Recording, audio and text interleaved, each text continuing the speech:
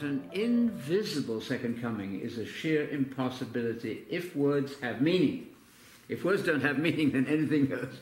But if words have any meaning, and the words of Jesus are important, the second coming of Jesus is not an invisible event. There is no pre tribulation rapture. That's an illusion.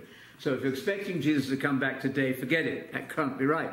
You have first to have the abomination of desolation standing where he ought not to. Mark 13, 14 says he, not it. Where he is the person standing in the temple, you have first have that. Then you have a time of the greatest tribulation ever. Is this a small deal?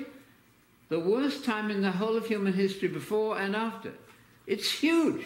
You're supposed to know all about that. And those dear Jehovah's Witness friends at your door, well meaning people, certainly, ethically very straight, very often they understand the sleep of the dead, conditional immortality, that's marvelous. So help your Jehovah's Witnesses with that, with that marvelous passage. It will not be a secret coming, but the pre-tribulation rapture, so-called, is no better. And that's held by Dallas Theological Seminary and massively all over America. There are people traipsing into church this moment who believe that Christ could come back today invisibly and take them to heaven. That is false. So you see, psychologically this is not good for you. People say, well, those are boring doctrines. Who cares? As long as you're a good person. That's a lie. Biblically, it doesn't work.